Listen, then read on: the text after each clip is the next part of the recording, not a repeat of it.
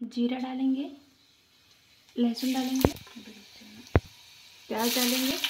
मिर्च डालेंगे, आलू परवल डालेंगे, नमक डालेंगे, हल्दी डालेंगे, मसाला, सब्ज़ी मसाला डालेंगे, टमाटर डालेंगे, इसमें धनिया डालेंगे, सब्ज़ी हमारी रेडी